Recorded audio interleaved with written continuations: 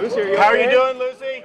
I appreciate it, and I'm glad to be alive. This was Lucinda Beachy back in 2004, recovering in the hospital from bruises, scratches all over her body, and injuring her back after she says she fell from an 85 foot waterfall. I was like, well, God, I'm putting my life in your hands. Fast forward 14 years later, she still remembers the six days she was lost while hiking Mount Lemmon during the summer alone, which you're not supposed to do. I got rescued by search and rescue, and I thank God every day that they found me two hours after I fell over an 85 foot waterfall. She says she wanted to share her story to prevent others from getting into the same situation. Her urgent warning Do not hike in the hot sun when it's 100 degrees outside at 8 o'clock in the morning. Don't go hiking.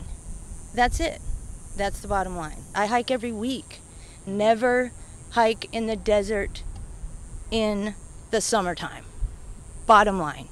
The summer heat can be deadly, but if you do decide to go on a hike, she advises to wear plenty of sunscreen, a hat, bring a gallon of water for yourself, and then plenty of extra water. Priscilla Casper, News 4 Tucson.